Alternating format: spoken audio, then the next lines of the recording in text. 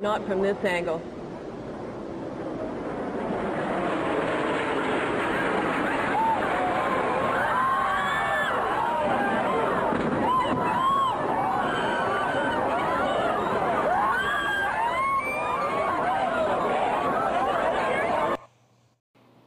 Nine Eleven is a very traumatizing experience.